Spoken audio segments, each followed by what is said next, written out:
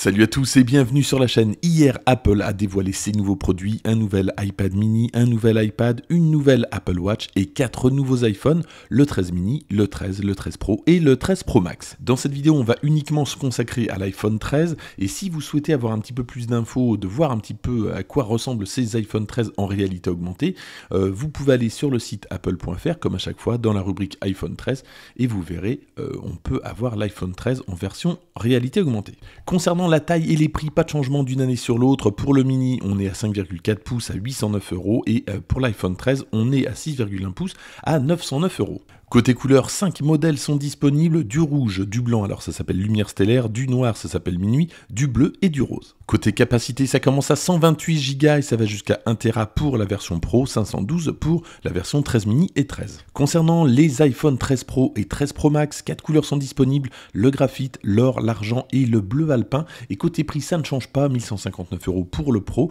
1259 euros pour le Pro Max évidemment pour l'entrée de gamme. Alors grande question, quel modèle choisir s'il y a toujours, comme tous les ans, euh, un tronc commun de, nouveautés. Il y a quand même pas mal de différences entre les modèles pro et les modèles qui ne sont pas pro. Côté similitude, on va retrouver le processeur A15 sur tous les modèles. On va retrouver 6 cœurs. Par contre, on aura un GPU de 5 cœurs sur les modèles pro et 4 cœurs sur les modèles non pro. Alors c'est surtout sur la partie photo que la différence va se faire. Ici, donc c'est le modèle Pro avec trois capteurs, donc le téléobjectif qui n'est pas euh, sur le modèle qui n'est pas Pro. Première conséquence, le zoom optique. Pour la première fois, on a un zoom optique x3, mais uniquement pour les modèles Pro, pas de zoom optique pour les modèles non Pro. Comme euh, on a un ultra grand angle à 0,5, on a une amplitude de 6 fois pour les modèles Pro et seulement 2 fois pour les modèles non Pro. Autre avantage à l'iPhone Pro, évidemment, c'est son LiDAR qui n'est pas disponible sur les modèles non Pro. Bonne nouvelle côté autonomie puisqu'on passe à 22 heures en lecture vidéo pour un iPhone 13 Pro contre 17 heures pour un 12 Pro. Alors il y a plusieurs explications à ça. La première c'est le processeur A15 qui est moins gourmand mais surtout une batterie plus conséquente.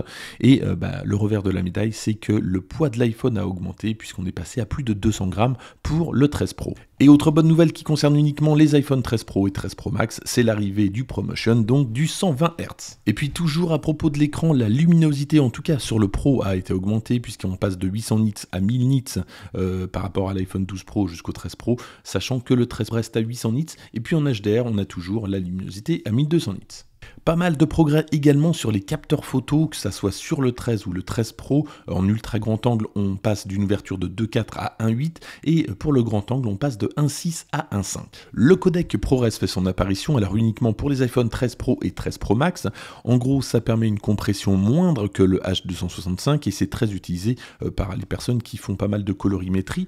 Alors, L'inconvénient, c'est que apparemment Apple explique qu'il serait disponible uniquement en 4K pour les téléphones qui ont au moins 256 Go de stockage et on faudrait se contenter de 1080p pour les téléphones qui n'auraient que 128 Go de stockage. Autre nouveauté que j'ai hâte de tester, c'est le mode cinématique. Alors selon moi, hein, la meilleure nouveauté de ces iPhones, en plus c'est disponible sur tous les iPhones, il euh, n'y a pas de jaloux et ça permet justement de jouer avec la mise au point, de faire euh, des, des mises au point sur certains sujets et pas d'autres. Franchement, ça a l'air pas mal. On peut même faire ça pendant euh, l'enregistrement, mais surtout même après l'enregistrement et ça c'est cool. Autre nouveauté très intéressante, ce sont les styles photographiques. Alors ce sont comme des filtres, en gros on va pouvoir euh, changer le, ton, la, couleur, etc.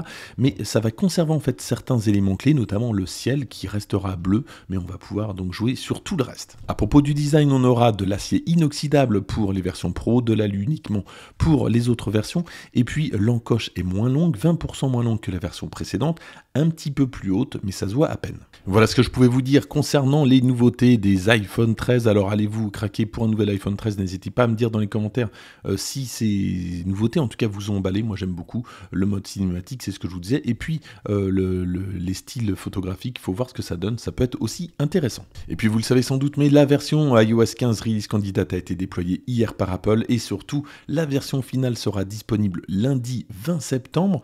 Euh, donc, sans doute à partir de 19h. Moi, je vous fais une vidéo pour 17h ce jour-là. Comme ça, on aura le temps de discuter pendant la vidéo. Ça dure un près un quart d'heure. On fera un petit chat ensemble si vous avez des questions, puisque je l'utilise depuis quelques semaines. Merci d'avoir suivi cette vidéo jusqu'au bout. N'hésitez pas à la liker, à la partager si vous avez aimé, à vous abonner si c'est pas déjà fait.